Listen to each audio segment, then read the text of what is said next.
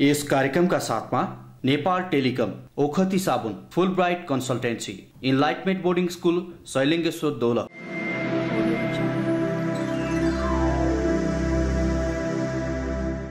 नमस्कार। गन्तव्य प्राप्तिको पहिलो यात्रा चन्दा प्रोडक्सनको प्रस्तुति कार्यक्रम सहयात्रामा स्वागत छ। म इन्दिरा सापकोटा। सहयात्राको सुरुमा लागौँ राष्ट्रपति चुरे तराई मधेस संरक्षण विकास समितिका सदस्य सचिव दीपक कुमार खरालसँग राष्ट्रपति चुरे संरक्षण अभियानमा केन्द्रित रही चन्दा घिमिरेले गर्नुभएको यो संवादतर्फ।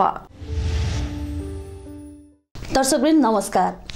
आज हामी चुरे क्षेत्रमा भइरहेको वनविनाश अनियन्त्रित गिटी बालुवा र ढुङ्गा निकासी तथा भूक्षयलाई रोकी तराईमा हुन सक्ने सम्भावित मरुभूमिकरणको खतरालाई रोक्न र चुरेको संरक्षण गर्ने उद्देश्यका साथ गठित राष्ट्रपति चुरे संरक्षण कार्यक्रमका विषयमा संवाद गर्न गइरहेका छौँ।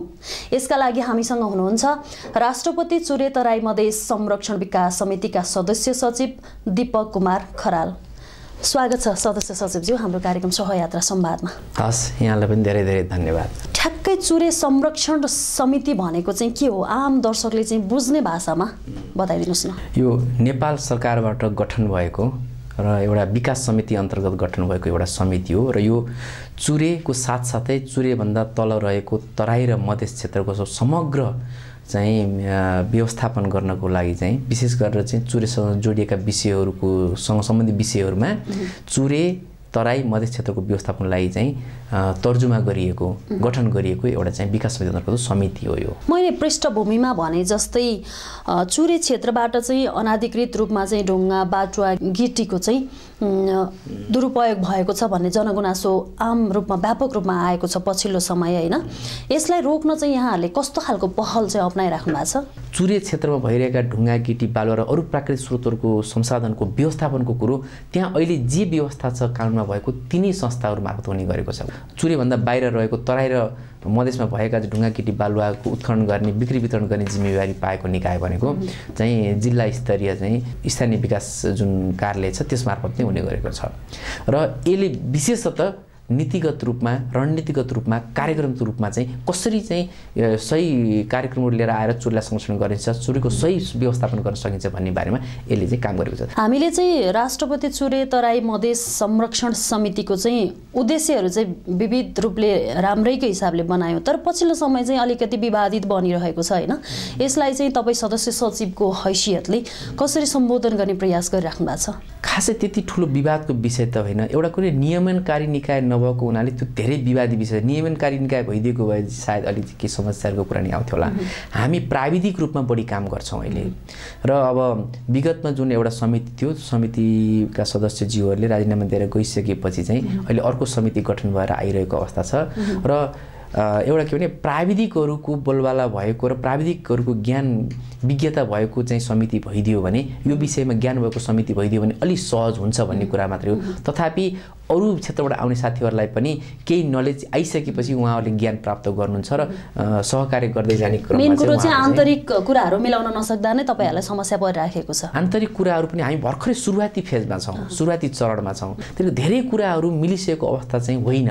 तथापि हामी आगामी दिनमा लर्निङ बाई डुइङ भन्दै हामी चाहिँ काम गर्दै जाँदा सिक्दै जाँदाखेरि आएका कुराहरूलाई लिएर अगाडि बढिरहेछौँ। दुई हजार छैसठी सतसठीमा यो अभियान सुरु भयो होइन? हामीले आजको दिनसम्म आइपुग्दा यो करिब दुई वर्ष तिन वर्षको दौरानमा आइपुग्दा चाहिँ उदाहरणीय यी चाहिँ काम गऱ्यौँ।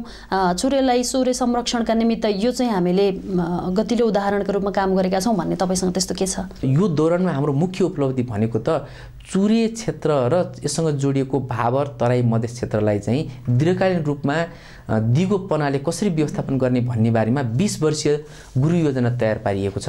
र यो गुरु योजना तयार हुनु नै आफैमा एउटा ठुलो उपलब्धिको रूपमा रहेको छ। यो करिब करिब तेस्रो वर्षको स्थितिमा आइपुग्दाखेरि हाम्रा काम गर्ने सहकार्य गर्ने निकायहरू जिल्ला स्तरमा जुन हुनुहुन्छ जस्तो जिल्ला वन कार्यालयका चाहिँ संस्थाहरू जिल्ला पोषणसँग सम्बन्धित त्यस्तै गरेर चाहिँ अब जिल्ला पशु कार्यालय जिल्ला पशुपन्छी कार्यालय र अर्को हामी नेपाली सेनासँग पनि सहकार्य गरिरहेका छौँ र जल उत्पन्न प्रकोप व्यवस्थापन विभागसँग पनि सहकार्य काम गरिरहेका छौँ। यी निकायहरू मार्फत चुरे संरक्षणलाई हालसम्म उहाँहरूले के काम गर्दै आउनुभएको थियो र कसरी संरक्षणमा चाहिँ प्रभावकारी हुन सकेन उहाँहरूसँग चाहिँ बसेर छलफल गरेर एउटा कार्यक्रमहरू चाहिँ तयार तर्जुमा गरेका छौँ। त्यो कार्यक्रम तर्जुमा हुनु पनि एउटा ठुलो उपलब्धिको रूपमा लिएका छौँ। समितिको उद्देश्य नै भनौँ होइन कार्यक्षेत्र नै अलिकति बहुआयामिक हुने हुँदा जिल्ला स्तरमा चाहिँ तपाईँले यस अगाडि भनि नै सक्नुभयो होइन नेपाली सेना लगायत अरू मातहतका निकायसँग चाहिँ समन्वय गरेर काम गरिरहेका छौँ भनेर। उनीहरूलाई चाहिँ जिल्ला स्तरमा साझेदारको रूपमा मिलाएर चाहिँ कसरी काम सञ्चालन गरिराख्नु भएको छ त? विगत स्थापनाको सुरुवाती वर्षदेखि नै हामीले के गर्यौँ भने अर्थ मन्त्रालयबाट वन मन्त्रालय हुँदै यो चुरेको चाहिँ जुन संरक्षण विकास समिति छ त्यसलाई चाहिँ एउटा बजेट प्राप्त हुने गर्दछ। र बजेट प्राप्त भइसकेपछि हामीले पहिचान गरेका जुन जिल्ला स्तरमा काम गर्ने चाहिँ निकायहरू छन् तिनीहरूलाई के गर्छौँ भने फेरि उनीहरूले प्रोग्राम बनाउँछन् चुरे संरक्षण तराई र मधेसको संरक्षणको लागि। त्यो बनाएको कार्यक्रम हामीले जज गर्छौँ त्यसलाई निर्णय गर्छौँ त्यसको छानबिन गर्छौँ र यो उपयुक्त छ भनेपछि त्यसलाई हामी बजेट एलोकेट गरेर त्यसलाई चाहिँ फेरि हाम्रो वन मन्त्रालय मार्फत ती सम्बन्धित निकायहरूमा पठाउने व्यवस्था गर्छौँ। र तिनीहरूले आफ्नो चाहिँ जुनको जुन उनको लाइन मिनिस्ट्री लाइन विभागहरू छन् त्यो मार्फत नै उनीहरूले काम गर्दै आइरहेका छन्। र प्रत्यक्ष रूपमा ती निकायहरू अहिले चाहिँ यो विकास समिति अन्तर्गत चाहिँ जवाबदेही नभए तापनि विभागहरू र मन्त्रालयहरू चाहिँ चुरीसँग समन्वयमा चाहिँ काम भइरहेको अवस्था छ। हजुर। चुरे संरक्षण समिति चाहिँ वन मन्त्रालय अन्तर्गत रह्यो। तर नीति नियम चाहिँ तपाईँहरू वातावरण मन्त्रालय अन्तर्गत रहेर काम गर्नुहुन्छ होइन? यो एक आपसमा बाजिएको जस्तो बुझिन्छ होइन? बुझ यता बुझ्न आउँदा चाहिँ। यो काम गर्न चाहिँ तपाईँहरूलाई कस्तो कठिनाइ छैन? अहिले तत्काललाई त्यस्तो कठिनाइ भइरहेको अवस्था चाहिँ छैन। किनभने समझदारीमा काम भइरहेको छ। किनभने ओभरअल हेर्नुहुन्छ भने वातावरण मन्त्रालयले जुन कामहरू गर्छ जनसङ्ख्या वातावरण मन्त्रालय छ त्यसको पनि म्यान्डेट भनौँ त्यसको कार्यक्षेत्र भनौँ वातावरणको संरक्षण सम्वर्धन र व्यवस्थापनको कुरा हो भने वन मन्त्रालयको पनि मूलत के भन्दाखेरि वातावरण संरक्षण जैविक विविधताको संरक्षण व्यवस्थापन गर्ने कामै हो। हामी दुइटै निकायहरू करिब करिब एउटै एउटै कार्यक्षेत्रमा मिलेर काम गर्छौँ र मन्त्रालयहरू दुइटा भएको कारणले र एनहरू पनि आफआफ्नो भएको हुनाले थोरै कम्प्लिकेसी भएको अवस्था जस्तो देखिन्छ बाहिरबाट त तर हालसम्मलाई चाहिँ त्यस्तो किसिमको समस्या चाहिँ हामीले महसुस तर वनले। गर्नुपर्ने कार्यक्रम त वातावरण मन्त्रालयसँग तपाईँले अनुमति लिएर मात्रै गर्नुपर्ने हुन्छ होइन? अहिले के छ भने चुरे संरक्षण वातावरण ऐन अन्तर्गतको चाहिँ जुन प्रावधान छ त्यो अन्तर्गत चुरे संरक्षण क्षेत्र घोषणा भएको छ। र यसरी चुरे संरक्षण क्षेत्र घोषणा भइसकेपछि त्यहाँ गर्नुपर्ने क्रियाकलापहरू वातावरण संरक्षण ऐनले निर्देशित गरेका बुँदाहरूमा टेकेर चाहिँ गर्नुपर्ने हुन्छ।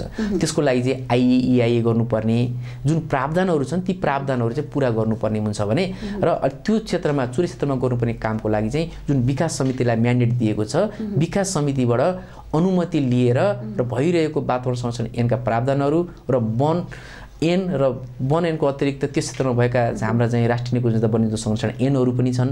तिनी यिनीहरूभित्र रहेर चाहिँ काम गर्नुपर्ने हुन्छ। चुरे संरक्षणका लागि चाहिँ तपाईँहरूले चाहिँ सामाजिक उत्तरदायित्व सँगसँगै अरू आन्तरिक निगरानी चाहिँ कसरी गर्दै आउनुभएको छ?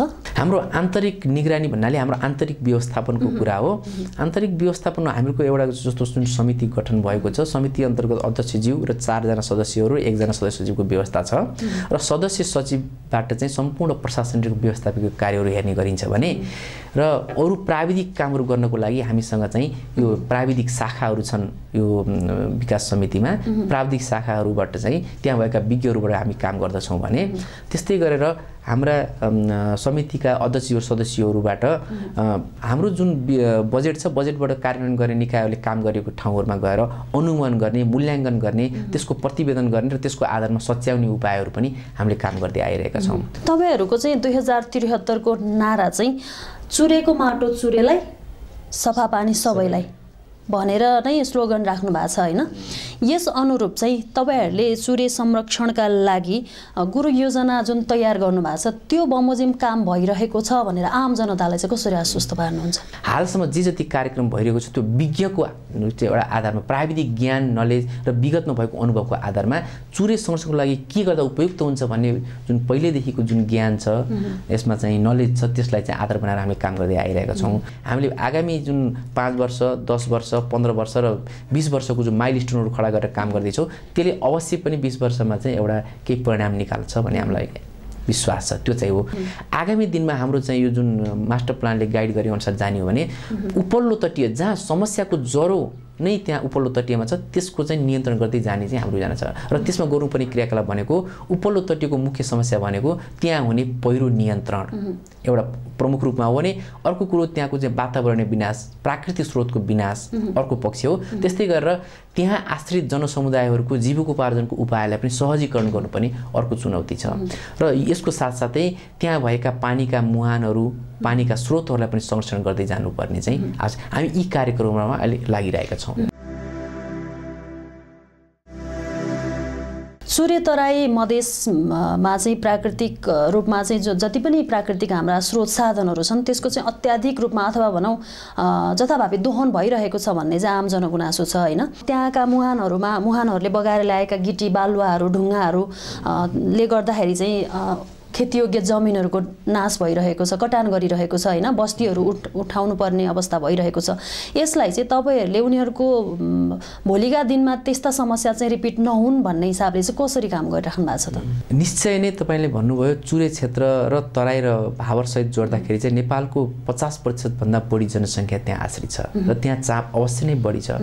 यसै पनि फ्रेजाइल कमजोर भूगर्भ भएको अवस्था र त्यसमध्ये त्यसमाथि पनि अझ यो जुन मानिसहरूको जुन दैनिक जीविका उपार्जनको लागि जुन चाप परिरहेको छ त्यसले गर्दाखेरि त्यहाँ अत्यधिक समस्याको रूपमा चाहिँ रहेको अवस्था चाहिँ हो। र त्यसलाई निराकरण गर्नको लागि एकदम मैले भनिहालेँ यसका संरक्षणमुखी कार्यक्रम एउटा हुन्छन्। त्यो भनेको पहिरो नियन्त्रण गल्छी नियन्त्रण त्यस्तै गरेर नदी नियन्त्रणका कुराहरू छन्। त्यसपछि गएर पानी मुहानहरू पोखरीहरूको संरक्षणका कुराहरू भयो। र यी विविध प्रक्रियाहरू छन् भने यसको अतिरिक्त त्यहाँ आश्रित जनसमुदायहरू विशेष गरेर चाहिँ अत्यन्त विपन्न समुदायहरूलाई चाहिँ एउटा आर्थिक उपार्जनको लागि पनि सहयोग हुने र उनको दैनिक जीविका सहयोग गर्ने रूपमा चाहिँ केही आर्थिक आइजिए भन्छ इन्कम जेनेरेसन एक्टिभिटीको रूपमा चाहिँ केही कार्यक्रमहरू लिएर जान्छौँ। र हामीले त्यहाँ गर्ने कार्यक्रमहरूलाई सामुदायिक समुदायहरू मार्फत गर्ने किसिमको पनि योजना बनाएका छौँ। त्यहाँका संरक्षणका कामहरूमा समुदायलाई नै परिचालित गर्ने गर्ने र त्यो समुदाय परिचालित हुने क्रममा उनको दैनिकी रोजगारीको पनि उपायहरू चाहिँ सृजित हुने र त्यहाँ अहिले जुन विशेष गरेर हेर्दाखेरि दाउराको लागि अत्यधिक चाप परेको देखिन्छ। दाउराको लागि यसलाई चापलाई कम गर्नको लागि हामीहरूले वैकल्पिक ऊर्जा प्रवर्धनको अनुसन्धान गर्ने प्रविधि विकास गर्ने र त्यसको प्रवर्धन समेत गर्ने कार्यक्रमहरू पनि हामीले राखेका छौँ। पछिल्लो समय चाहिँ यो ढुङ्गा गिटी बालुवा चाहिँ अनाधिकृत रूपमा चाहिँ उत्खनन गरिएको छ भन्ने समाचारहरू पनि आइरहेका छन् होइन? यो चाहिँ के हो? यहाँकै मुखबाट सुन्न पाउन। नियमनकारी संस्थाहरू पनि हामीसँग हुनुहुन्छ होइन? तर सबै ठाउँमा पुगेर यसरी नियन्त्रण गर्न भन्ने कुरो चाहिँ हाम्रो स्रोत साधन र जनशक्तिको अभावले गर्दा सबै धेरै गाह्रो अवस्थामा छ। यद्यपि हाम्रो स्रोत साधन र जनशक्तिले भ्याएसम्म हाम्रा हामी आफै र हाम्रा चाहिँ सहकारी गर्ने निकायहरूबाट चाहिँ त्यो काम हुँदै आएको हो। तर इलिगल हुने कति कुरा अनित रूपमा भइरहेका कुराहरूलाई नियन्त्रण गर्ने प्रयास पनि जारी छ। तर यद्यपि मैले भनिहालेँ नि हाम्रो स्रोत साधन र जनशक्तिका अभावका कारणले गर्दाखेरि यी चौबिसै घन्टा र सबै ठाउँमा चाहिँ हामीले चाहिँ निगरानी पुर्याएर काम गर्न नसकेको अवस्था पनि हामीले स्वीकार्नुपर्छ। र तर भावी दिनमा हामी स्थानीयसँग पनि सहकारी गरेर र यिनी स्थानीय लेभलमा काम गर्ने सरकारी निकाय र स्थानीय समुदायहरूको सहकारी गरेर चाहिँ आगामी दिनमा यो हाम्रो चुरे संस्कृतिलाई व्यवस्थित बनाउँदै जाने चाहिँ हाम्रो योजना छ। अहिले भएका जति पनि समस्याहरू छन् त्यसलाई सम्बोधन गर्दै आगामी दिनमा चाहिँ चुरे संरक्षण समितिले चाहिँ यी कामहरू चाहिँ हामी परिवर्तनमुखी हिसाबले हामी अगाडि बढिरहेका छौँ भनेर आम जनतालाई ढुक्क हुने गरी तपाईँ के भन्नुहुन्छ? हाम्रो बिस वर्षीय दीर्घकालीन गुरु योजना तर्जुमा भएको छ र त्यो डकुमेन्ट यदि नेपाल सरकारबाट अब तुरुन्तै यो स्वीकृत भएर आयो भने हामीले त्यो अनुसार काम गर्ने लक्ष्य बनाएका छौँ यो उद्देश्य बनाएका छौँ। र त्यो हुन पायो भने हाम्रो चुरेको उपल्लो तटमा रहेको चाहिँ जुन पहिरोको समस्या भयो र यसको नियन्त्रण हुने कुरामा हामीले काम गर्छौँ। त्यस्तै गरेर तल्लो तटीयमा रहेको जुन नदीको कटान र नदीको डुबानको समस्या छ त्यसलाई पनि नियन्त्रण गर्ने हाम्रो कार्यक्रम हुनेछ। त्यो पनि हामी कार्यक्रम गर्छौँ। त्यस्तै गरेर अहिले त हेर्नुहुन्छ भनेदेखि तराई र मधेसमा पानीका स्रोतहरू जमिनमा भएको पानीको स्रोतहरू घट्दै गएर समस्या आइरहेको अवस्था छ। र त्यसको रिचार्ज सेन्टरको रूपमा रहेको चुरे र भावर क्षेत्र छ त्यहाँ चाहिँ पानी संरक्षणका ठुला ठुला क्रियाकल्प नगरिकन उपाय छैन। त्यो पनि हामीले आगामी दिनमा चाहिँ गर्दै जाने लक्ष्य लिएका छौँ र त्यो भयो भने समग्रमा चाहिँ चुरे क्षेत्र र तराई र भावरको चाहिँ र मधेससम्मको चाहिँ व्यवस्थापन चाहिँ राम्रो हुन्छ भन्ने हामीले विश्वास लागेका छौँ। चुरेमा जुन अहिले प्राकृतिक स्रोतको डिग्रेडेसन अथवा चाहिँ जुन एउटा विनाश र क्षय भइरहेको छ त्यसको उत्थानको लागि पनि हामीले वृक्षारोपण गर्ने लगायतका अरू र कृषिका कार्यक्रमहरू पनि अगाडि लिएर जाँदैछौँ। हाम्रो एउटा इन्डिकेटर बिस वर्षमा हामीले सम्पूर्ण रूपले काम गर्न पायौँ भने यसको समग्रमा तराई चुरे र भावरकै चाहिँ व्यवस्थापन राम्रो हुनेछ भन्ने हाम्रो आशा छ। हस् समयको व्यस्तताको बावजुद पनि हाम्रो स्टुडियोसम्म आइदिनु भयो विविध जानकारीहरू राखिदिनु भयो यहाँको समय र संवादका लागि धेरै धन्यवाद। हस्, यहाँलाई पनि धेरै धेरै धन्यवाद। दर्शकवृन्द तपाईँ हेर्दै हुनुहुन्थ्यो राष्ट्रपति चुरे तराई मधेस संरक्षण विकास समितिका सदस्य सचिव दीपक खरालसँग चन्दा घिमिरेले गर्नुभएको संवाद अब लागौँ यो अर्को प्रसङ्गतर्फ। दुई वर्ष अगाडि सरकारले गाउँका प्रत्येक घरलाई गर्मीमा सजिलो होस् भनेर एउटा एउटा सौर्य ऊर्जाबाट चल्ने सोलर डिभाइस निशुल्क वितरण गर्यो। यो उपकरणबाट उनीहरूको जीवन निकै सजिलो भयो। गएको महिना मात्रै चिचोन गाईले गर्भवती आफ्नी श्रीमती टोङसुका लागि एक हजार आरएमबी खर्च गरे। श्रीमतीलाई दुध र नौनी छुट्याउने मेसिन पनि उनले खरिद गरे। पहिला पहिला उनी टङ्सुले नौनी छुट्याउन काठको बाल्टी प्रयोग गर्थिन्। यसले उनलाई निकै थकित त बनाउँथ्यो नै साथमा कष्ट पनि हुन्थ्यो। अब स्थिति बदलिएको छ। विद्युतीय मेसिन भएपछि शारीरिक परिश्रम गर्नु परेन। यसले समयको पनि बचत भएको छ। परिवारको अनावश्यक भार पनि कम भएको छ। यही विविध प्रसङ्ग सहित सहयात्राको आजको श्रृङ्खला यही सकिन्छ। यदि कार्यक्रम सहयात्रा टेलिभिजनमा हेर्न छुटेमा सहयात्रा टिभी लगइन गरेर हेर्न पनि सक्नुहुनेछ। हवस् त। गन्तव्य प्राप्तिको पहिलो यात्रा चन्दा प्रोडक्सनको प्रस्तुति कार्यक्रम सहयात्रा निरन्तर जारी छ। नमस्कार। यस कार्यक्रमका साथमा नेपाल टेलिकम राष्ट्रको संसार ओखती साबुन जडीबुटीको शक्ति साबुन ओखती full bright consultancy enlightenment boarding school Shailingeshwar Dolakha.